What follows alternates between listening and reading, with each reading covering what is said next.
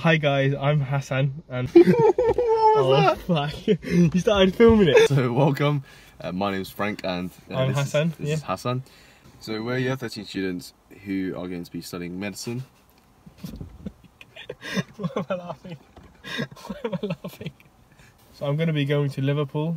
Um, and I'll be going to Imperial College London. So what we hope to do with this channel is kind of bring both aspects from the life as a medical student and both of our personal experiences when we applied to med school. Take you guys along with us on Yeah, like how training is like and how you have to change your schedule up while being a student and trying to fit in gym time. that's not and- getting in there by the Yeah, way. Um, do you want it? Unless you want it No. exactly, it's my fault.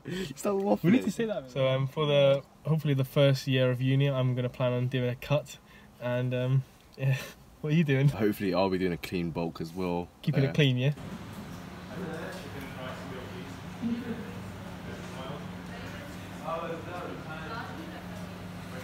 I've probably been training for two years. Um, obviously, I, I have done so in year 10 and 11, but that was just biceps and triceps and chest. I played rugby, so I started training in year nine for school. But that was um, I mostly did chest to be fair, and um, yeah, so I did that for two years, and I've got some good numbers and everything, good progress. But um, after then, I got injured when I started to deadlift because I don't know, form was probably bad. So um, got injured for like two years, and then started gym again properly for about a year now.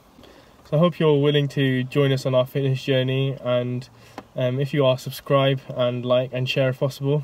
Yeah, and obviously, this is our first time ever. We're not the brightest of the bunch in terms of video editing, so you're not going to have to bear with us, but we'll do our best, you know, Yeah. shout some filthy content, and hopefully you enjoy. But um, I think that's it for now. Yeah. Sweet. Bye.